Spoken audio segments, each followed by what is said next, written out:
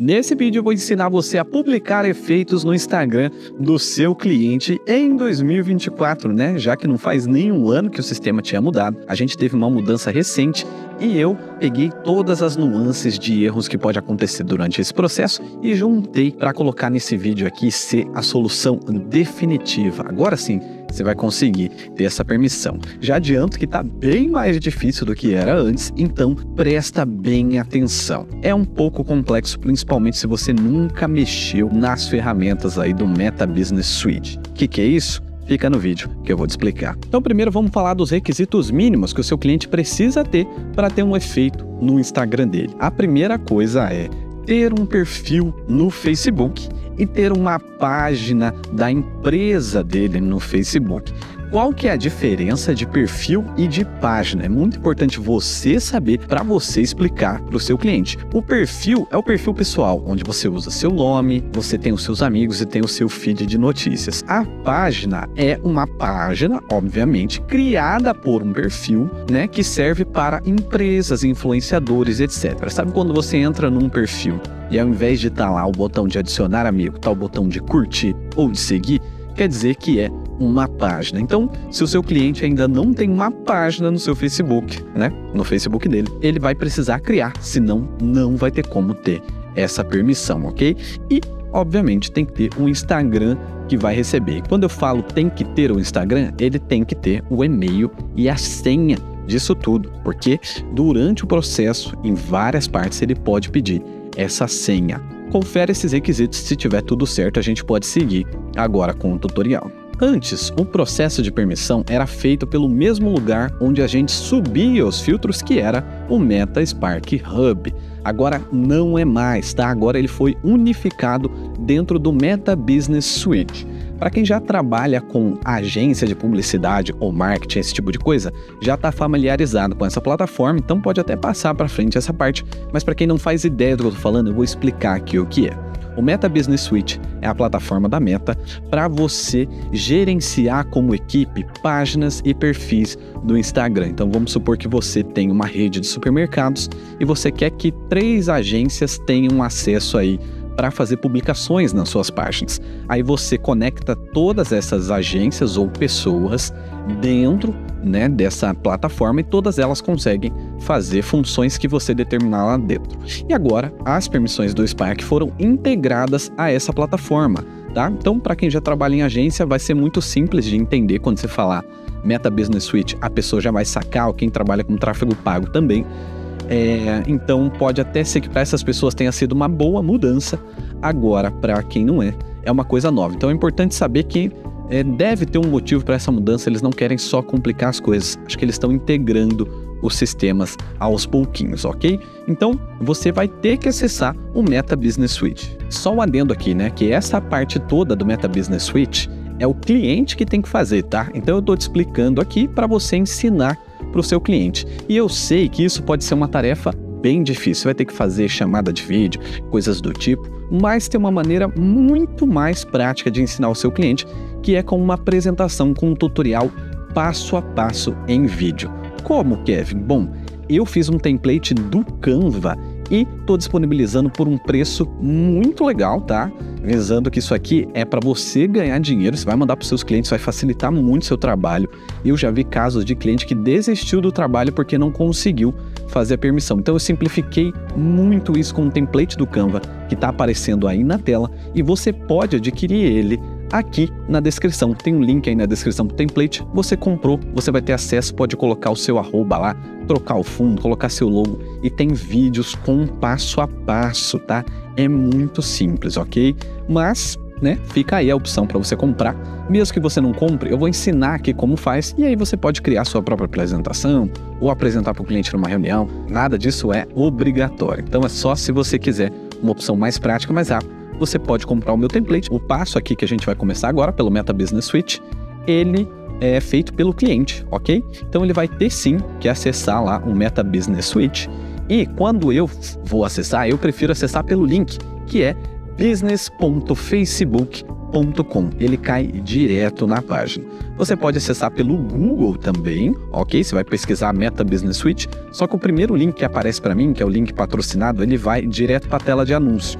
Não é ele que eu quero. Então eu desço lá embaixo e clico.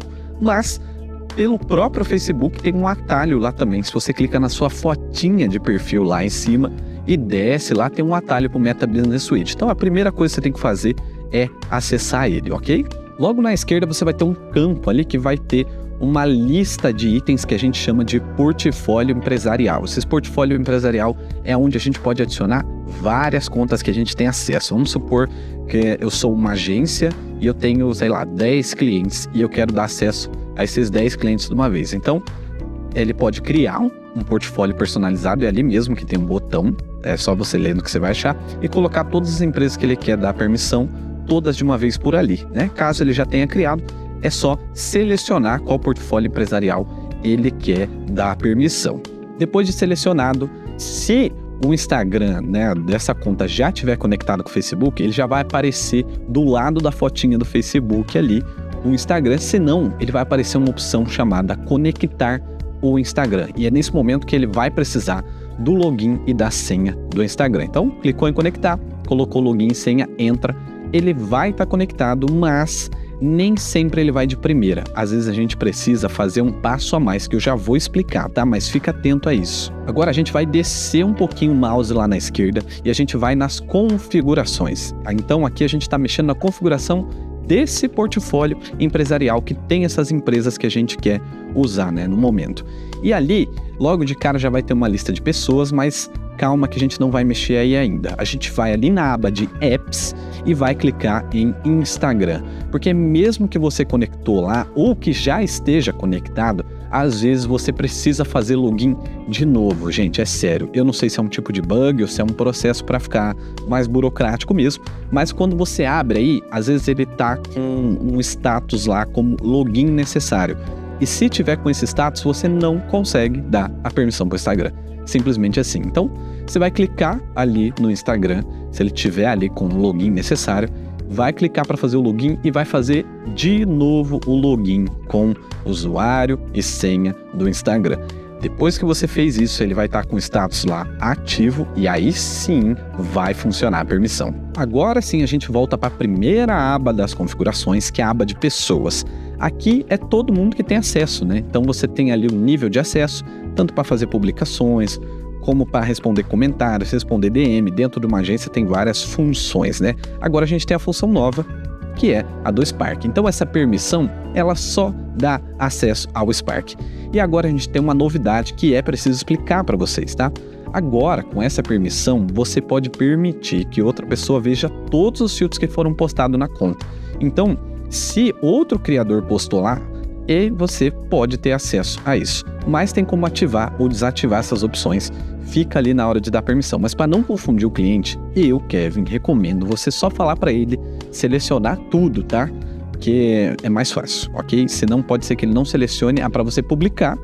E aí já viu, né? E também ali a gente consegue ver o porquê dessas mudanças, porque tem como você dar uma permissão só para ver os dados, por exemplo, de acesso. E isso é muito importante para uma agência, ok? Para gerar relatório e esse tipo de coisa. Mas para a gente que é creator e vai subir, eu acho legal botar todas as permissões, mas vamos lá, né? Só tô dando um adendo aqui rapidinho. Agora ali na aba de pessoas, você vai clicar em convidar pessoas, ok? Ele vai abrir uma janelinha para você.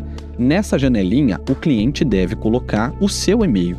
Ah, Kevin, precisa ser o e-mail da minha conta do Facebook? Não, pode ser qualquer e-mail, inclusive o seu e-mail de trabalho, tá? Porque depois você vai receber um convite para fazer parte aí da gerência, né, de MetaSpark. Então, quando chegar lá, eu explico como funciona isso, mas pode ser qualquer e-mail, né? Lógico, obviamente, né, gente, tem que ser um e-mail que você tem acesso. Colocou o e-mail, logo abaixo a gente tem duas opções, tá? Uma é de acesso temporário eu nem recomendo que você explique isso para o cliente. Inclusive, eu nem coloquei isso na apresentação do Canva que eu fiz. Mas, se for um caso específico, né, essa opção de acesso temporário é para você ficar com acesso só durante um tempo. Então, se o cliente colocar uma data ali, a partir daquela data você não terá mais acesso. E aí, perdendo o acesso, tem que fazer esse processo novamente, ok? Por isso que eu não explico, porque só vai complicar mais as coisas. Logo abaixo, a gente tem a opção Acesso ao MetaSpark. É ela que a gente vai usar. Então, cliente tem que ativar ela e ir para avançar, tá? A gente vai para a próxima tela, porque é só o tipo de permissão, né? Que é uma permissão só para o Spark. É isso que eu estava falando, que não vai dar para você postar nem ver nada do cliente. É importante frisar isso que às vezes o cliente pergunta: ah, mas você vai conseguir ver minha DM, vai conseguir ver minhas coisas? Você pode deixar claro que não. Você só vai conseguir ver os filtros, ok? Então vamos lá.